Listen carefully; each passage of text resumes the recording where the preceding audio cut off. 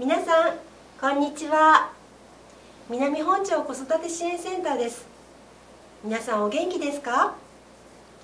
今日はどこでも簡単にできるハンカチを使った遊びをご紹介したいと思います。ご家庭にあるハンカチで親子で楽しんでみてください。今日はハンカチネズミを作ります。ハンカチを1枚用意します。どんな大きさでも構いません。厚手のものだと作りにくいかもしれません。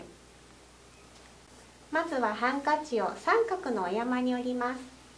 端を持ったらこんにちは。こんにちは。こんな風に少し重ねてください。ふんわりと巻きます。ふんわり。ふんわり。ふんわり。ふんわり。ひっくり返します。そしたらきれいに重ねます。手前から上に持ち上げてポケットができたところに三角を入れ込みます。下から手を入れてひっくり返します。もう一回くるん何度か繰り返してください。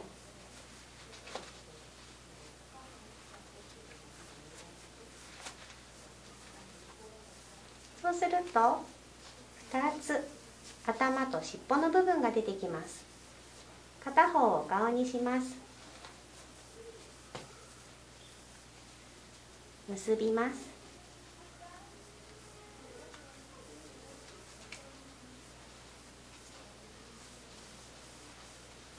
これでお顔ができました。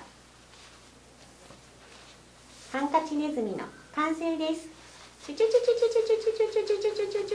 作ったネズミで遊んでみましょうネズミは手のひらの上に置きます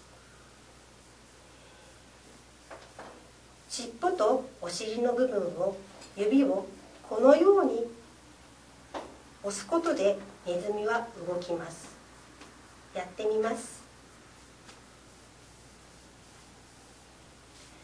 もう片方の手で隠すようにしてネズミを動かし止めていきます。こんな風に動かすと本当に生きているようなネズミに見えます。わあかわいいネズミ。ネズミさんネズミさん起きてください。ネズミさんネズミさん。あっ起きた。ネズミさんネズミさん元気かな？あ元気。ネズミさんすごいよ。たくさん動いちゃう。待て待て待て。チュチュチュチュチュ次はわらべ歌で遊びましょう。一匹中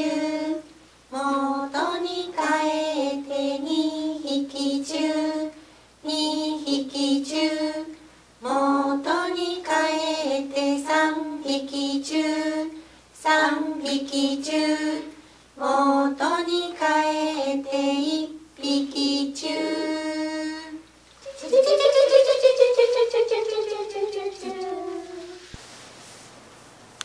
南本町子育て支援センターのお花もこんなに綺麗に咲きました。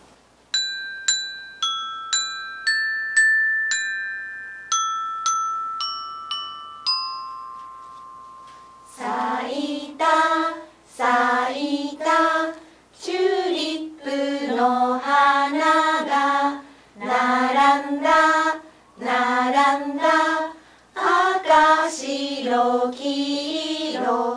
どの花見てもきれいだな。